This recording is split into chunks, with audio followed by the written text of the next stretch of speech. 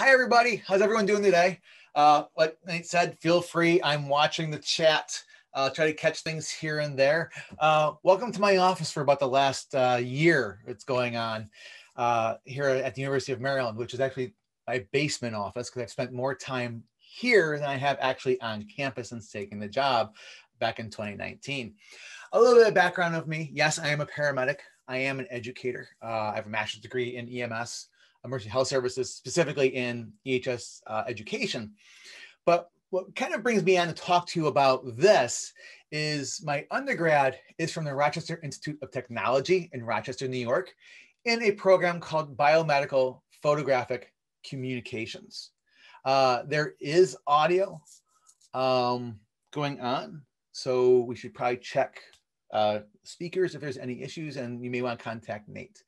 Uh, so what that allowed me to do is not only uh, in terms of biomedical photographic communications, long term, uh, it uh, essentially trained us and educated us to go work in hospitals to be their graphics and art department. Uh, but I love EMS, I love medicine, and I love teaching. I've been lucky to take and combine all these together. So this cheated developing visual case studies kind of looks at the idea of, of, breaking away from the standard PowerPoint. And I think now that's even more important than, than ever before in that um, we don't really have a lot of interaction. So how can we pull out other ways to interact with our students? So this is one way of creating these visual case studies. It's also a really neat way to present information to allow students to build on, as well as to query the, uh, the audience to kind of see where they're at because when we start to teach, we don't really want to teach everything that they already know. Uh, so we have to do a little bit of an assessment. So this kind of allows us to do that. And this whole cheated program really is nothing from me. I, I came across this uh, writing the textbook for uh, um, Rich Beebe as well as Jeff Myers, that paramedic series that they did. And they wanted us to follow this cheated method in terms of, of how we laid out our uh, presentation. So the cheated stands for Chief Concern, History, Examination, Assessment, Treatment, Evaluation, and Disposition. Now, any of you that are like documentation gurus, this may look familiar because this is a documentation style. And they had me write the entire textbook using this. And as I'm writing, I'm like, this is a really interesting way to present information educationally. Is there a way we can take this and, and bring it into a slide deck, into a presentation? Now, I've taken this since then, I've taken this and turned it into other types of educational delivery material, but using the same concept. And this presentation really goes back to some of my first days at NAEMSE in terms of teaching back in like 2009, 2010 with Greg Friese, where we would teach an entire workshop called uh, Effective Enhanced Visual Communications. I can't really remember. It's a while ago. It's almost 10. I can't believe it's almost been 10 years. And Greg is on here. Um, you know, he's really what brought me in. But uh, so we take this down. We start off with this thing called Chief Concern. And what we're going to do under the chief concern, it starts to set up the case for the learners. It begins to evolve the information. It begins to look and see, do they understand those, those key things that need to happen prior to and upon arrival to the scene? So when we start to do this, well, how do we build it? Well, one way to look at building it is this, you know, it's taking like a checklist or if any of our educational circles, a scaffolding device and, and using this to kind of guide what we're doing. Oops, hang on, wrong button. And guide what we're doing. Hang on, let me turn on my pen here for a minute. There we go. Okay. So taking this and, and, and, and looking at the information that we would want to present and, and put that as our, our headers. So almost like laying out our PowerPoint, because you can actually set this up in PowerPoint and make these our headers and scene size up. And what would they, we expect the students to know. So it may be that uh, you're dispatched for a uh, motor vehicle crash. So guys, before we get going, what's going through your head? What are you thinking about? Tell me about it. And what this does is it allows the students to begin teaching the material in a, a social cultural theory uh, way of teaching. And, and it moves the instructor from being a, you know, the all being, all knowing entity to the uh, guide on the side, to more of a facilitator. So they'll allow them, the students to kind of drive that. So we, when we look at the, the process, this is a really great way. And there's different ways of presenting this. What are some other things that we would want to kind of pull from our students that maybe then we wouldn't have to spend a time a, lot, a ton of time teaching about in this early stage?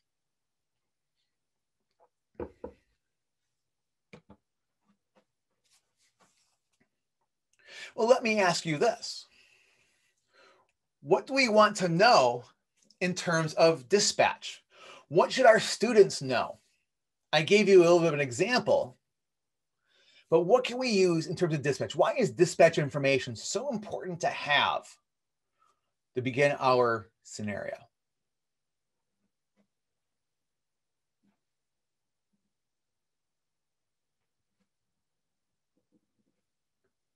It does set the scene a bit. Oh, I like that, James. Start thinking about extra resources. Excellent. Still keep an open mind.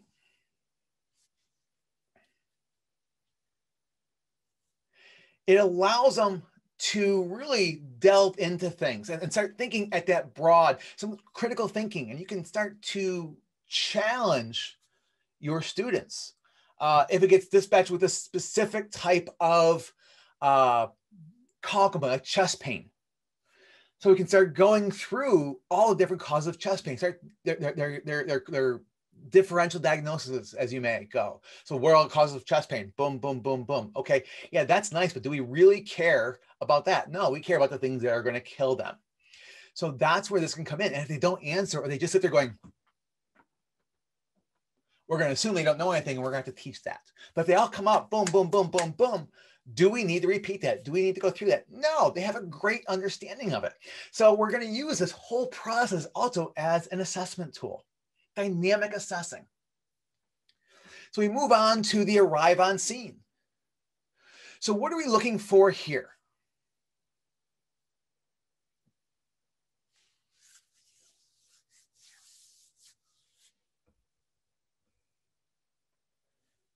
And this is why it's so important for it to be a visual case.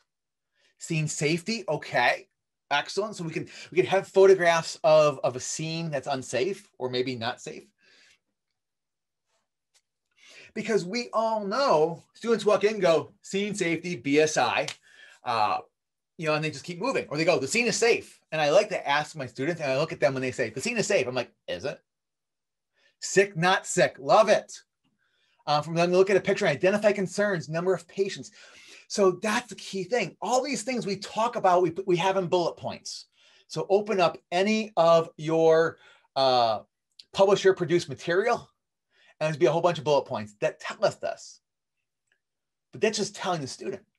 But if we make the students look at these images and to take and make concerns and, and, and decisions based on it, it's really, really important to look and judge their knowledge. Having pictures of all different types, all different angles is important. This might go my, my scene safety issue. I miss him. He was a big dog, big, big old boy. That's Bowie. And uh, we can do these in many different ways. So if we go back, you know, to here, you know, it's first person. We're, we're looking, we are the providers, we are the responders. And there's going to be different ways. We'll show you different ways throughout here of, of, of how to photograph a, a, scene or how to photograph it. But this is from first person. I like to call first person. You're seeing it from how you would see if you walked into the home. Then we move on to our general impression. And as we move into our general impression, we want to look at the idea as well going back to our sick, not sick um, information. So you can put all that together. So you don't need to have each one of these steps in there. You don't need to have each one of these uh, subsections. It really depends on what you're what you're going for and what you're trying to demonstrate. So you can take bits and parts of to use based on what you're teaching. So like in here, this is a, a simple uh, photograph of a friend of mine laying in a bed. And if you're not friends with Photoshop or someone who is knowledgeable of Photoshop, you should, because it's real easy to do a lot of things. This is a simple, this is, if we look at her arms here, all it is is just a simple, what we call a motion blur filter. It takes about three seconds to do. It's not all that difficult. You know, we can look at, at the concept of what does, um, what are some concerns here? What are some things to look at? Again, all, and these can be used for different things. This could be used for a seizure, this picture. This is a great looking subject on the ground. I know it. If you need his autograph, let me know. I, I have his contact information. But this could be used for a seizure. This could be used for unresponsive. This could be used for an overdose. So that's kind of neat part is, is whatever this picture is, it's what you say it is. Expensive model. Yes, he is. I tell you expensive or expansive okay good expensive i'm getting nervous there for a minute you know i'm got that covid 10 going on right now uh, but it allows us to get into as the students. So then we move from our general patient impression into our chief complaint. Again we're walking up. She's 18 today by the way boys and girls. She is 18 she's my nep- my niece. Scary. Anyways so what does it what's wrong with her right now? What would this tell you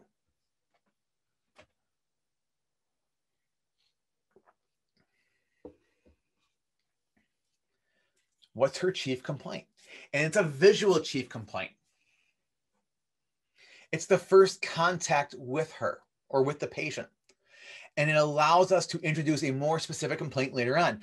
Uh, hand or wrist injury, okay. Abdominal pain, scared.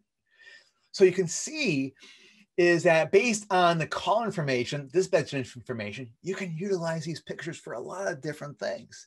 This was originally for stomach pain. And and Ruth, that's great. I never thought of the hand or wrist injury. I'm gonna have to keep that. I gotta find that in my in my uh, collection here. But that's a great use of it. Uh, these images, if you, uh, I photographed all these, it's not hard now. Nowadays with our, our cameras and iPhones, they're making better pictures than my, my film camera was when I was in school um, you want to have the patient what I call visually complaining. So like chest pain, you know, Levine sign, um, uh, shortness of breath, put them in a tripod position like we saw earlier on. Uh, nausea, vomiting, you know, they can look like this. Uh, pain, she's in pain here. Those are all real important things to do. And your subjects make really need to be really good actors and kind of talk them through it. Uh, my joke always was is like, look sad. I don't know how to look sad. Think of dead puppies. Ooh. And then they think of that. Uh, and, and kids are, are tough, you know, actors, but they, they, a lot of them are real hams and they really enjoy it. Uh, if you are working with kids, try to keep the parent aside because parents always want the kids to perform and it just makes it a nightmare trying to photograph them. You know, this is one I use a lot. I've used this a lot in terms of, of the EPC program. My trauma courses, this is regarding regression of kids uh, in, in, terms of, of injuries. So great little actors. She's 18. He's 14, by the way, my son. Um, it's just always he's supposed to be unresponsive, but everyone looks at him and goes, he's laughing. I'm like, I don't know, maybe he's having he's unconscious and, and telling himself a joke. I don't know. So that's the hard part. But we're always looking at it. Get in there, get tight. So then once we get into it, now we move into the initial assessment. We get into the, the ABCs, our primary assessment, you know, uh, looking and evaluating our patient. And really depending on the scenario, um, you can be uh, very detailed or minimal. My suggestion is if you go and do this and, and go to photograph, photograph more than what you need because you'll use this at other on other scenarios later on and other PowerPoints uh, later on. It makes life a heck of a lot easier. Uh, the more photographs you have. I have photographs I've never used and I'm pulling out and dusting off going, this would make a great, great use. Um, and it also allows you to adapt it for the learner. So I would do one set ALS, one set BLS. So one set without any EKGs, one set with EKGs on it. So they'll understand and see that based on, on the class that you're dealing with.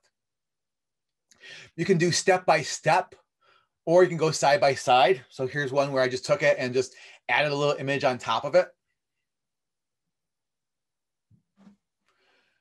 About placing airways and, and managing airways. Um, don't worry, she doesn't have a nasal airway in. Uh, these cut really easy. I have a whole collection of props. So it's only about this much of the nasal airway. It looks, it, it's all magic. It's all magic. It comes in. I have to have a whole set of oral airways. So he, that oral airway there is, it's really hard to cut an oral airway, but you can do it safely. Um, but it's all cut down. So all they need to do is put it in their mouth and bite down. Same with endotracheal tubes. We don't want to be in the movies or, or, or the, uh, the TV shows where you see the person with the endotracheal tube like this. You know, cut it down make it the right size. It looks like it would be in real life. Uh, same thing with angiocatheters. Uh, we don't really need to start IVs on people. Take the angiocatheter, cut the catheter off, put it on their arm, put the tegaderm over. No one's going to know. Matter of fact, as you put the tegaderm down, it's going to take the catheter and it's just going to depress into the skin a little bit, and it's actually going to look like it's inserted. somewhere in here, we, we may want to talk about uh, putting, oh, and let me go back to this one here for one second. So this was really an interesting thing, and we'll talk about this a little bit later on, but he did not want any makeup on. He refused. So all his injuries and bruises are digital. Again, Photoshop can be your friend. It's not real hard with some practice. These are what we call layers. And also you can see here, he's got a little deformity. And the nice part is, and I've used this picture or similar pictures without him in moulage. And it was nice because I didn't want to have all those injuries on. So I can use him as a trauma scenario like this, or if he has no injuries, I mean, he's got the blood coming from his mouth on this one, but if he has no injuries, then I can use him as a seizure or, or, or, or uh, uh, a, a, plugged uh, CSF shunt. So there's different things we you can do by not really over moulaging your patients. The more you can do digitally, the better. We talk about vital signs, uh, and depending upon your your audience, you can do something very simple like this.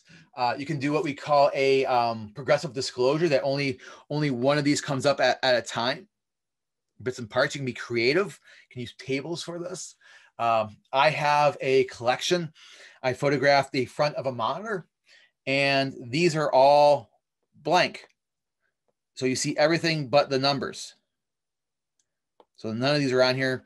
And I have rhythm strips. I have numbers I can put on there. So I can take my monitor and make it say what I want to say. And I can even animate it by having these appear. There's different things you can do. You can even do this in PowerPoint. Um, there's no reason why you need to be in Photoshop for this. You can do this right in PowerPoint. So go and take a photograph of one of your monitors turned on, but with nothing running. And then there's your picture. Use that anytime you go to talk about vital signs or rhythms. Um, you can make you can make your, your your your waveforms right in PowerPoint. So you don't need to have Photoshop for a lot of it. You can do it right in PowerPoint. You can get creative and get all sorts of fanciness. Um, you know, this is just uh, my little graphic representation about blood pressure and, and treatment and vital signs. Be careful though, because sometimes you're not thinking about it because it's not a real patient.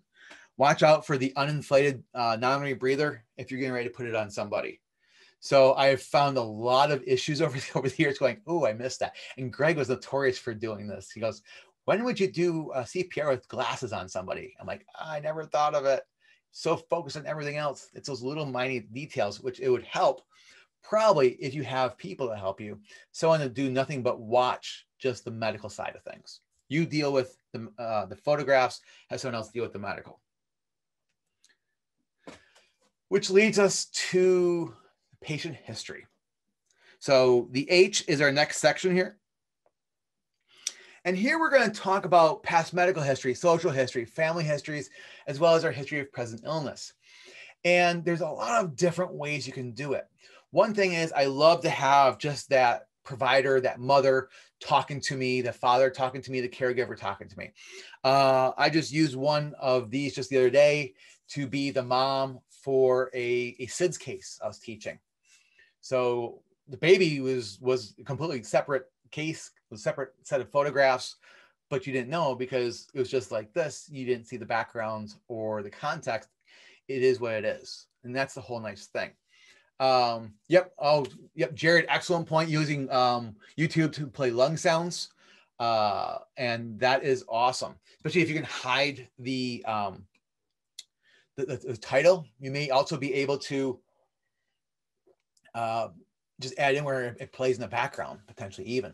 And that may be something too where you could hide it. If it has to play the video, you can hide it behind a photograph like this. There's different things you can can do, but that's an excellent point there, Jared. Thank you for sharing. Uh, so just different ways, you know, here she, she's thinking, she, she, she's contemplating going down the list. And I often use this in terms of, of going down my, my sample or my OPQRST history.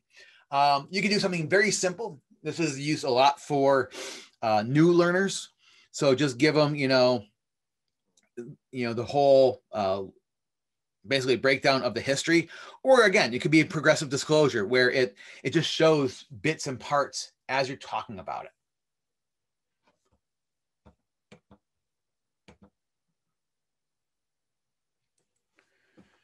You can get a little bit more graphic with it. Um, and, and really how you put it together is, is, is, really up to you. This is one thing I do. This is a, a, pediatric history gathering tool that I, I use. Um, siren sounds in the background. yep. Um, the uh, we definitely do that in our sim lab. So you know the chief complaint, and and it's just another way. And what will happen on this one is there's some animation built in. So you can stage this and build it. So you can have just the C arrive. So let's say that we've taught this before. Uh, so I can have just the C appear. And then what I would do is say, okay, what does C stand for? And if they answer it or don't answer it, I have the next part appear, chief complaint. All right, what are you looking for? Now, when we um, now when we are looking at uh, the uh, this part this part here, we could do it in a couple of different ways. One is have it come down and give list all the things I would be looking for normally, or we can have it just reveal what is with our case.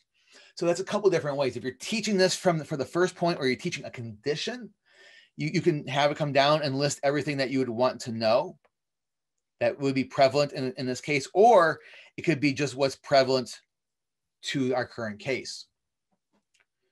You know, our sample history, of course, you know, uh, how feeling, um, you know, nausea is just a, a, photograph, you know, for nausea back of an ambulance, uh, just to just look sick and, and, and turned it green a little bit in the photograph. Um, this is one, I always kind of joke, this was one of Greg Friese's photographs and I said, Greg, where did this come from? Because it's kind of a, it was in his image collection. He goes, oh, well, we were just at the, uh, uh, we had a picnic or something at the fire station. So he just took pictures. So it brought up a really good point is what you can be doing is just have your camera and photograph stuff like this. And he had no intentions of it. He just said, this is kind of a neat thing. Let's take a picture. And it happened to be that we were doing a presentation on, on allergies and anaphylaxis. So here we go. Here's our, our seafood allergy. So by limiting as much of the background that you have, you can utilize this anywhere and through many different ways. You know, this is one I like to use in terms of, uh, you know, are they taking your medications? Are you not taking your, your medications? And this is what I kind of call the, the second person scenario where we're kind of like standing there, we're helping him out. Uh, so the first person is like what we've been seeing where you're interacting directly with, with the image. Second person is kind of like, all right, I, my partner's there. I'm over here doing this. And the third person is what I like to call the fly in the wall photograph. Um, they're all good things depending on what you're going for. The nice part about doing second or third person is it starts to really kind of involve uh, the interaction of the provider and what they're doing. The box of meds. This is my generic box of meds. Make sure if you do do this, you, you don't have any identifying information, even if it's your own, uh, just kind of hide everything. Because then again, I can, you know, this in real life may have been, you know, uh, a beta blocker, but I'm going to say today it's going to be a calcium channel blocker. So if you don't have labels, if you don't have that stuff visible, it is what you say it is. And that's really one of the key things about doing a visual case study is it is what you see it is. Uh, go over to the local grocery store. Any of you do that simulation, you probably already have a bunch of these. Uh, actually, if any of you are already doing simulation and moulage and stuff, you're halfway there because you have a lot of toys. Now you just got to put it on film or showing my age, digital. Uh, set of um, medical alert tags is always good to have uh, to be able to put on there. You can see I've used it quite a bit. You know, history, last meal.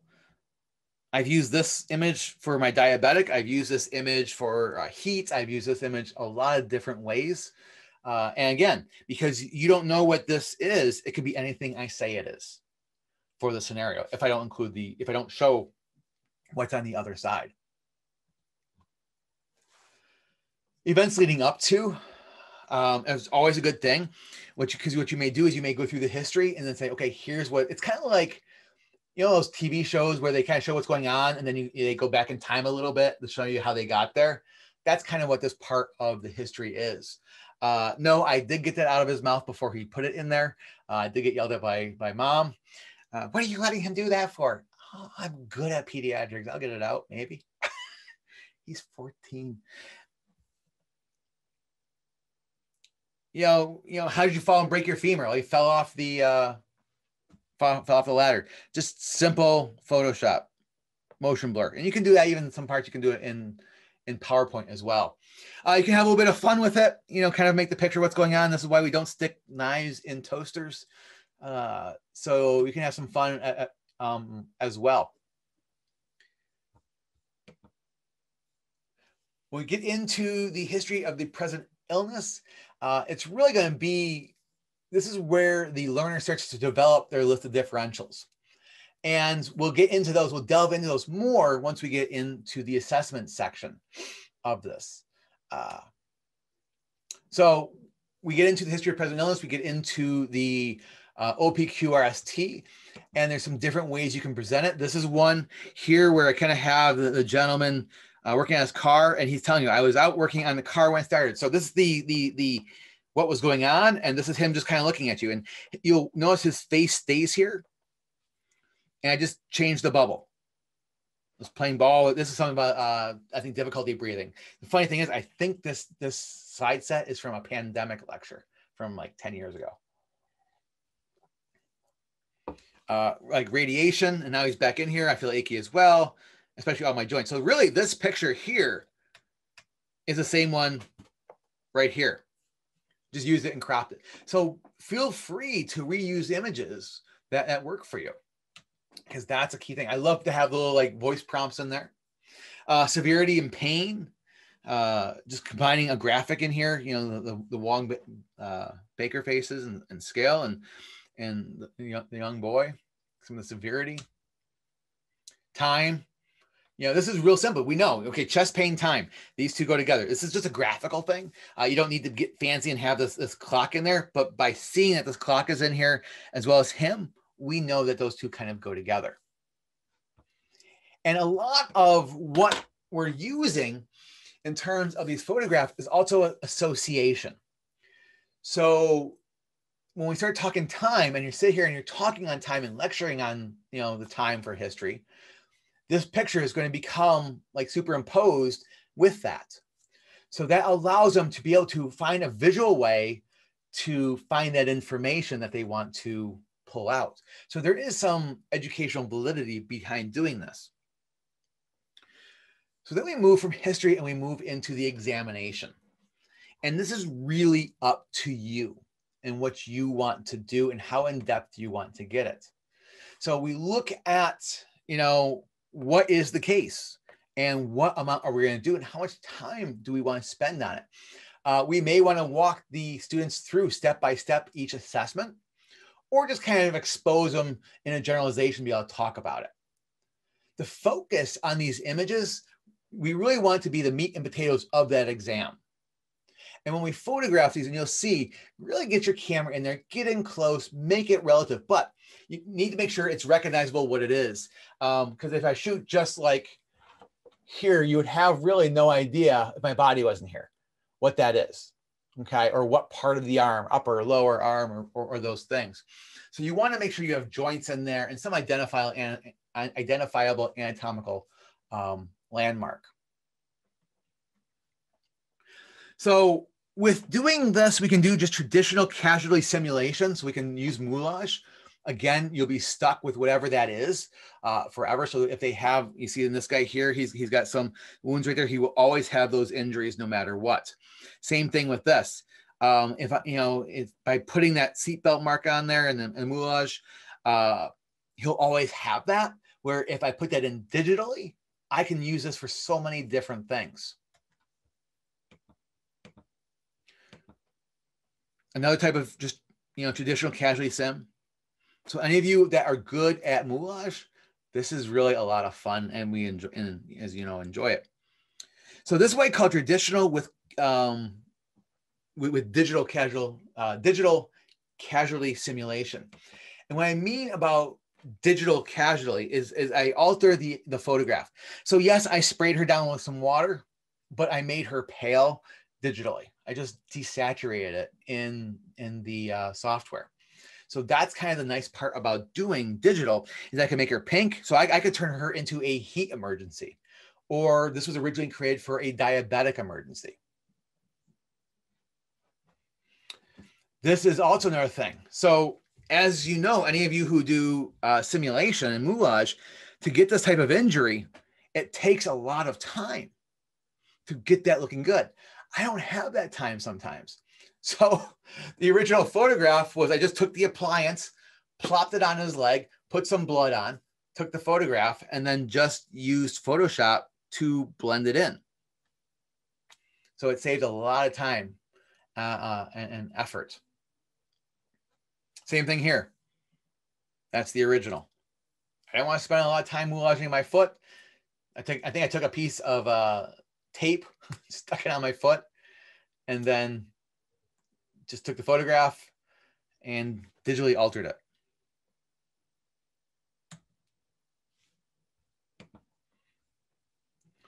We may also be able to utilize this time of the exam.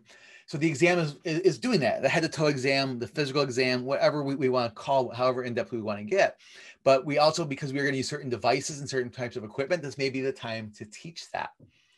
So if you want to teach glucometers or you're doing a glucometer review, this is a, a slide of uh, good and bad practice of using a glucometer. 2008, you can tell that picture's a little old. So it's the other thing is you make high dates on stuff so it doesn't get, you know, time to it because there will be one person to call you out on that. But you can get into the equipment review. Uh, we can get into more of the the um, in-depth assessment. This is what I, this is a first-person shot. So I didn't have anyone to come help me with this photo shoot, but I wanted to show that we are checking pedal edema. So I'm here with my camera and then my hands coming out, checking it. And it's kind of nice because it kind of puts the viewer into that whole first person. Um, I am there. Feeling. So that's it for the examination. So the examination is the head to toe exam. It's what we're looking for to put together our differentials. That now we're going to start talking about these. And when we get into the assessment section, this is where we have our differential diagnosis. And actually, we start to discuss the actual diagnosis. And what we kind of do here is the assessment section says, okay, here's all the potentials that we have and really why they may or may not fit. And then we say, let's say we want to talk about um, myocardial infarction. So this has been a chest pain call. We've gone through the whole chest pain. Here's your differentials. You know, this is angina. This is Prinzmetal's angina. Uh, this is, you know, pericarditis. And now this is myocardial infarction. And we're going to talk in depth about that. So this is the time to start talking about the pathophysiology. We may actually reuse some of our um, our uh, photographs from earlier on. We can go down through and start using um, uh, different types of, of ways to develop our differentials. This is called Happy Socks. This is what we use for uh, patients who are having trouble breathing to differentiate like pneumonia from heart failure, from asthma. Uh, and this is, I just kind of put up here, going back to earlier, like we had that um, uh, CIMP slide. I've used this in the exact same way. We can also talk epidemiology at this time. Uh, start to explore uh, why this is is such a uh, worthwhile topic to be learning. You can do something very simple by just saying, you know, just writing this out. The nice part about doing it like this without putting any numbers in, as numbers change, you don't have to change it. It's not so big of a thing now with digital, but back in the days, and some of you probably remember that you used to do slides, and those were about 10 to $15 per slide. Uh, so you, you really didn't want to have to change these if you didn't have to. Uh, there's ways to do um, graphical approaches. This is uh, just looking at epidemiology. You can do little bar graphs, put little images in them. You know, get creative. Get away from slides of just words. Like I, I don't really have many of these. I think I had a slide set today of 100 slides. I think maybe five of them had word, just word slides. You go back, and it used to be about 70, 75% of, of your slide set were words only. So trying to get away and break away from that whole world of just using you know words. So use graphics. It, it really starts to attach people, and we are becoming much more visual. Uh, we can look at the pathophysiology and, and, and create things. This is just this was really done easy. This was actually done in like Photoshop, but with PowerPoint now you could do this. This is all stuff you could you could illustrate in PowerPoint. It doesn't need to be fancy, um, you know, one bit. we talk about pathophysiology. This is this is always my favorite. This is where we talk about uh, the sympathetic nervous system. You know, feeder. You know, feed or breed. And you know, here I is. I'm, I'm eating, I'm drinking, I'm watching movies I probably shouldn't be watching, making sure the kids aren't around. And then the fire, you know, the fire alarm goes off. I stand up real quick. I get dizzy. I get orthostatic. So you, you, you see that you see the whole thing and you can have fun with it and especially if it's a picture of you because uh, sometimes you are the best subject and you're the cheapest one out there uh, and the most available one out there uh, it's not a bad thing plus people get little giggles and chuckles on them we don't want to forget our ongoing, uh, an ongoing assessment or any type of assessment here. A lot of times, what we'll do is list out all of the potential different types of things we may see uh, in this situation. So this is a, a lecture on asthma, and we had gone through the case and presented the symptoms that that patient was having for the case. But now we say, okay, here are all the other signs and symptoms that may that you may encounter. And I always like to have a little, you know, hmm, what are you thinking? And this is the this is kind of a, a, a good transition slide to have of like, all right, so we've done this, this, and this. You've seen this. Now, what do you want to do? What are our next steps? What's your treatment plan? And it kind of leads into that. And we move from the assessment. So we, we, have gone through the chief complaint, we've gathered our history, we've gone through the examination of, of the patient, head to toe, ALS, BLS, whatever you're teaching. We've gone into the assessment. We've talked about the differentials briefly, but we really delved into the, the main pathophysiology of whatever topic that we want to present. And then we take that knowledge, and now we move into the treatment side of, world. Now, under the assessment or under the chief complaint, you would have addressed any life threats. So anything that they would find under the ABCs, that's where that is done because, well, that's where you would that's where you would manage it. This is the treatment for everything beyond the life threats. Different ways to set your slides up. Uh, in the presentation, uh, this image is used to start to refresh the, the patient's memory of, of like, like mnemonics and acronyms and all those letters that we love to have. Uh, it gives us another chance to begin to interact with our family. Uh, and you can use quotes as well. So here it is here. This is this is my slide I like to use for calling like med direction. Uh, the problem is, is stuff gets timely, you know, it gets dated. You know, back in the day when these were photographs, you know, high flow was like the thing for chest pain and where we were. And then it's like, no. So that's the one problem you run into. As standards change, it can also change your slide deck and change your image bank. So just, you know, examples of treatment that we can have. Sorry, an IV. I can, you know, this is an IO. Um, this is my son here. And uh, my wife, we're actually laying on the floor. I just had a white sheet. So it looks like he's on the stretcher. Again, my world, my rules. Uh, we just had a dish towel there. And by the way, this is uh, yellow food coloring. Yellow food coloring works great for betadine. I didn't have any. And we had the IO. I said, Holden, don't move. If you move, this is really going to hurt. No, I really did not do an IO on him. I uh, have an IO that doesn't have a needle in it. I pulled it out. And all I really did was just screw it to the end of the syringe and said, okay, just hold it against his leg. That's all. It's not really secured on there, uh, but it appears it is again, my world. You can do treatment progression if you have new folks. And let's say that you are uh, starting to talk about how to assemble like nebulizers, you know, put these together. You can actually do step by step. Again, even if you're not doing that step by step for that lecture, if you have it, photograph it, keep it in a, a, a, a library because you may need that later on. You may want that later on. So a little bit by a little bit. And then it's just saline, of course, you know, we're not really giving albuterol. Sometimes though, you may not have the equipment that you want or need. Uh, so all I have right here is just a mouthpiece. There's no oxygen, there's no oxygen tubing attached. Um, but by photographing it really close uh, with it coming at the camera lens, my focus is, is on his face, which is going to make my what we call my, my depth of field shallow. So it's going to blur out this area. So it doesn't really matter. Nothing's coming out right now because my, my eye will go to his face. If you want to do, you can also do this for digital emphasis. So here it talks about kids and how wonderful band-aids are and they they they heal everybody uh, you can just kind of take it and make the rest of it black and white, keep that part color. You don't have to do it. You can do pretty much anything. And you can do this even in PowerPoint now. It's pretty darn cool how you can do it. Uh, multiple angles are good. So here we are doing a traction splint and a femur injury. So when you step through this, when you do these photographs, people are not doing this at real time. And that's what you have to work with your, your subjects, your, your, your actors, is that this is not real time it's you're going to step and hold. Okay, keep holding that. Keep holding that. All right, do my photographs, different angles.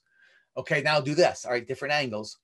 So when we, we photographed this, we didn't have the uh, lower left picture. We just photographed it here straight on for the crank. But at the same time, I came up on top to show, you know, how they're securing it together. So you want to photograph multiple angles because you're not going to be able to see everything from every single angle. But yeah, walking them through it's one of the hardest things because uh, they just want to keep going. So you got to be like, hang on, step by step. It's not a scenario; it's a visual case study that we're, we're creating. After we've done the treatment, we of course we have to evaluate that treatment and look at the reassessment of it and potential complications that they may have. And in this part, um, you know, here as we're switching off onto a non-breather, this again, I like to, you know, have them smile uh, you know, have them in one picture have them smile and then have them picture look concerned. That way, it's it's are my treatments working or my treatments not working? Again, you make up the story, you drive where it's going, but keep these in your library. You have people shoot as many different angles, as many different emotions as you can.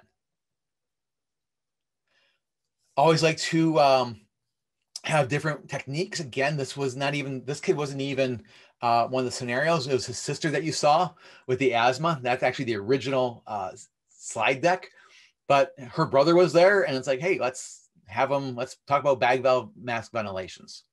And this has been used a bit. want to talk about dating yourself? Good old, you know, the easy cap. That's again, that's the problem sometimes when when you're photographing is when technology changes, it kind of outdates and or, or uh, dates your uh, your images. Yeah, this is also short endotracheal tube. Endotracheal tube's only about this long. He's biting it. They are all dishwasher safe.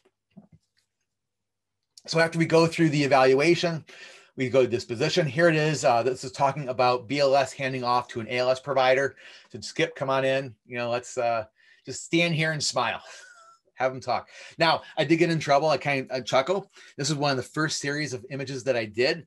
and her hair is so not what it should be. Uh, she's not a um, a uh, uh, EMT. She wasn't actually an EMT. Uh, so I just had to come out and put its shirt on, and I should have had her tie her hair back. So I learned that now looking back. This is going back many, many, many years uh, to do these. So be aware of that. Uh, I just take pictures of the of the hospital. This is one of my destination pictures. I like to have. Um, I've used this anywhere from destination to oh by the way you got another call. Here's your dispatch. Air medical again. It, it, when you're just just go out there, take all these photographs build up. This is my rural hospital entrance. You know, documentation, again, I got to update my documentation stuff, but uh, it's fun to show the show the youngins what we used to have to do back in the days. Uh, and this can be used to, you can utilize this. You can even take a picture of, uh, I've done this also with um, uh, like, like some of the, the commercial, the digital uh, documentation, EMR uh, um, documentations. Uh, and you can like write these letters in there and you could do, okay, here's how you write it. Here's where you put OPQRST and here's how it's written. This is New York State. I don't, are they still being used up there, James? Oh my gosh. I've been gone for 10 years. Uh, five, seven years, seven years. Wow. Uh, so yeah, so, okay. Good to know they're still being used. Uh, um, so you know again you know crushing middle of you know crushing chest pain. You can use this to to reinforce different parts. Again this whole thing is based on what you want to do. Because the thing is these cases can be as simple as you want to as complex as you want. You know a simple review may just be a simple airway placement. So you can begin and end anywhere in cheated and you can end anywhere in cheated so if I just want to talk about airway management, I could do everything up to the point of, you know, really chief complaint. If all I got to do is airway management, I'm just going to use the C part. I don't need all these yet because everything is handled up in there. Our detailed ones are going to be much more in depth. These are the ones we use for like path specific pathophysiologies uh, for and to get the differential diagnosis. If you are doing something like this, you can utilize uh, PowerPoint for your storyboard and, and create these, take slides and put chief concern, history, exam, assessment, and do the sub points in there. And that's going to help you develop your story, help you develop your scenario.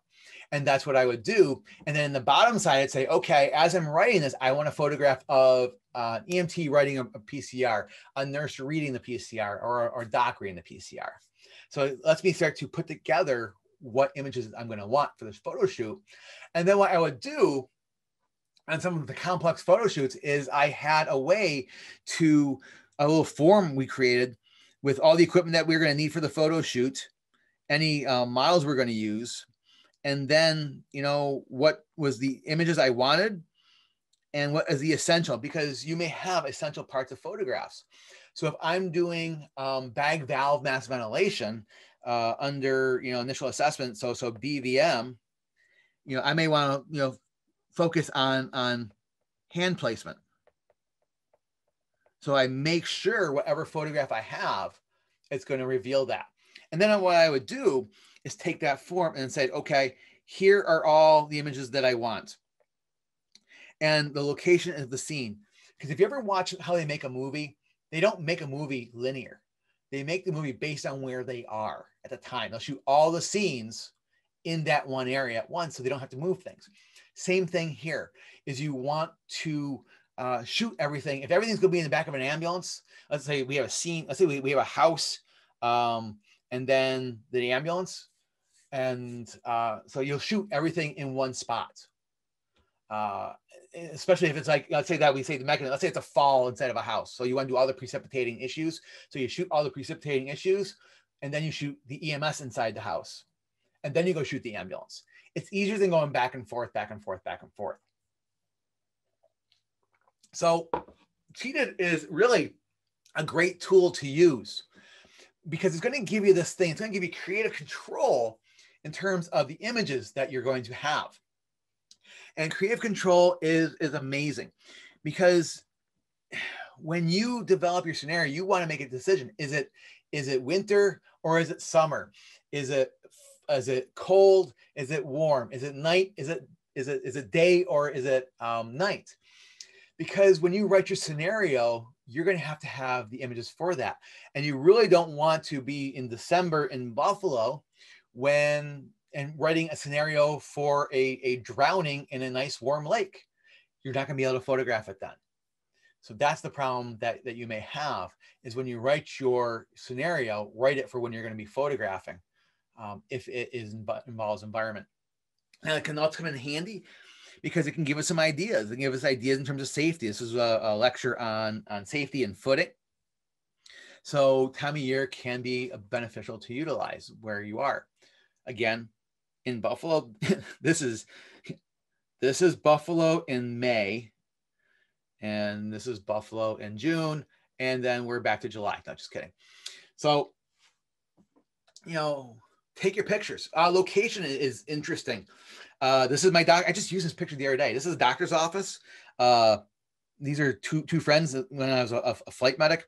Uh, he's he uh, he's a, a flight nurse. He's a flight medic, and we needed a doctor's office. So we actually use the pilot's room. And if you look, I've kept this in here because it's kind of funny. If you look really closely here, the only certificate I had to put on a wall was a certified flight paramedic certification on, on the wall. So if you look really closely, it's one of those little uh, nuggets that we throw in once in a while. You know, here we are driving. Not really. I'm sitting on the floor and just told my father-in-law, just hold, you know, look as though you're driving and squint because you don't have your glasses on.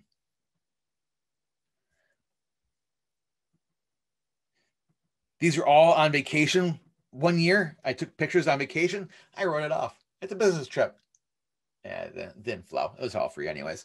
Um, but you know, here's the thing: it could be scene safety, it could be geriatrics. There's a lot of different uses for this image. So just shoot a lot. Now, you, shooting in hospitals is often forbidden. Um, this is my wife, so I kind of snuck that in. But you really can't take a lot of you can't take hospital pictures. You need permission to be photographing in a hospital, especially if if patients. You should never be taking pictures of patients. By the way, um, it gets into a whole bunch of, of, of not only HIPAA violations but patient confidentiality issues, but then just model releases. So that's the thing. If you are going to be photographing in a hospital, you need to have permission of the facility as well as the patient and have signed model releases. Believe it or not, same thing at work. Uh, some workplaces may frown upon you photographing in the workplace uh, about how their employees are represented and, and how they are dressed. And there is copyright issues that can come into this as well as doing it on work time. So you have to be very cautious and, and work with your uh, company if that's what you want to do. Just have a whole collection of equipment because you never know when you're going to use it or how you're going to use it. Um, like I said, and shoot if you have uh, avenues to shoot different types of equipment, I would definitely do that because then it depends on what who you're putting this together for and where they are. Again, technology changes. Um, like Greg had with the plate of seafood, I looked down. There's a here's the bag that we're doing for a photo shoot, just kind of throwing stuff together. I took a picture of it. I can't tell you how many times I've used this bag just to talk about introduction in the treatment or where we're going. I can talk about this in terms of airway management as an introductory slide. It's a placeholder. It's just another image. Pictures, pictures, pictures. Have lots of photographs in your library. You never know when they're going to come in handy. I've I can't tell you, I've used this image probably 15 times this year alone uh, talking about my pediatrics. So when I go talk about pediatrics, I reinforce the idea of having um, length-based tapes or reference guides uh, to the students. So that's where this comes in handy. I don't talk about them individually. If I was going to talk about individually, I would actually have whichever device or whatever piece of equipment I was going to use and photograph that in multiple different ways. But this is just kind of like my introduction. Or if I just want to talk about, hey, make sure everything's weight based. So have lots of equipment. Again, this comes in handy from all different ways. Uh, sometimes when, if you are photographing specific equipment, uh, these folks, these were my emergency medical responders up in um, Welland. They were with uh, um, St. John Ambulance. These folks, these kids were amazing. They knew Sager, but they've never put on a Hare traction device. They only had Sager. So it ended up being kind of fun. Is their, their, their reward is I got to teach them a new uh, piece of equipment. And, uh, and my re- reward was a, gr- a great group to be in a set of photographs. So you may have to teach the equipment to whoever that you're working for. Um, providers is always a good thing. Now the thing is, is this guy right here, you know, because this is the fall off the ladder. When we weren't photographing with this with this view, when we were photographing just the leg, I had him stand up. I took the collar off. As long as I'm not photographing up at that end, you know, I put a pillow under him. We were happy. So keep people comfortable because if they're in, in positions too long, you know, they're going to get uh, cranky and they won't want to stay for you. So again, this isn't a real situation. It's not a scenario. It's not a simulation. You control the you control the story. So how you photograph and the angles you photograph, you can think, think, take things away.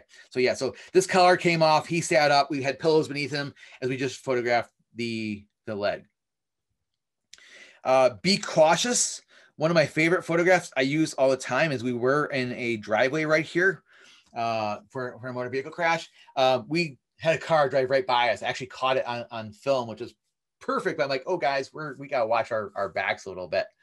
Um, but have all different types of providers involve try to look at you know um, inclusion a lot of my photographs here uh, don't have it just based on where i was at the time um, so that's something that i'm trying to build a little bit more on uh, let the providers know what you'll be doing and where they'll be seeing this.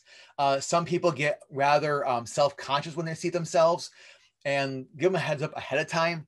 Uh, uh you know, a friend of mine felt, he felt, and she actually, she felt very uncomfortable that she didn't look good in her clothes. They, they seemed a little tight. Kids are wonderful, but we talked about kids. And of course, us. Uh, tell them if you're going to expose them and what you're going to expose. Uh, now, this is one thing here. When I teach trauma, we talk about trauma naked. This patient should not have it, but I don't want to look at his doodad every single time I have him up on the board. Just more examples of ways we can present patients. Uh, you may not want to have them, you know, show you the, the, the middle finger at all. That's probably not an ideal situation. So there's just a lot of different other people that have it. But the one thing I do want to talk about are your image sources. Yes, the internet is a great place to grab images, but pretty much everything is copyrighted uh, unless it is in the public domain. Uh, and just because it is a state entity doesn't mean that it is public domain. Look at the photo use policies and they'll explain to you what you can and can't do. And all of these sites will have that. And it is your um, obligation to look for those, to search those out. Because some of these photographs may not be owned by that entity. So be aware of that. And that's a whole fair use and copyright is a whole nother lecture that I talk about. Stock images are nice, but everybody uses them. But putting together your own image bank is great. And if you share it between instructors and, and give each other permission to use it, it's even more. So, folks, that's pretty much what I have in terms of visual case studies. Be creative is one of the biggest things. Are there any questions?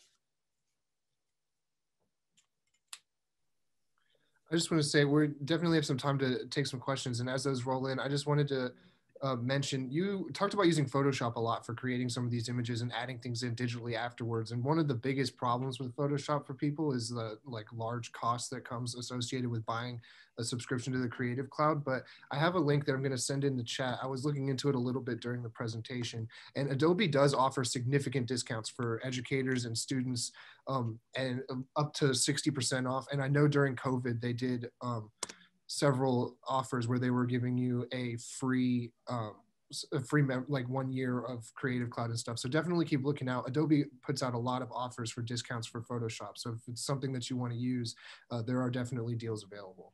And if you were if you were associated with a university or even a college or school um, either as a student or instructor you can usually get those through them. Um, we have a question up in here. Uh, so why don't they the textbook developers start using these in slides um, a lot of different reasons. One, it's time, it takes a lot of time to put together. Uh, they don't make money off their slides. Uh, and then copyright issues. It's very expensive to put. Um, Jones and Bartlett's a little bit better, but I've worked with them and it's a little bit hard.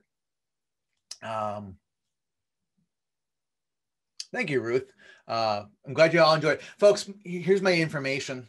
Um, if you have any questions, please, please contact me. Um, maybe one of these days, we'll, you know, Greg and I can resurrect the workshop. It's a full day workshop. We did it at NAEMSE. I think we did it at NAEMSE like three years in a row uh, for it. So it's definitely a, uh, it's a lot of fun. GIMP instead of Photoshop. Yeah, there, there is a lot of different options out there. I just always, I've used Photoshop since like version one. Um, so it's been one of those things, and I've always been been lucky to work somewhere that I can get my educational discount. So yeah, the the, the, workshop is a blast. Uh, you actually end up creating your own visual case studies, and we haven't done it since really the I want to say the last time we did it was probably 2012.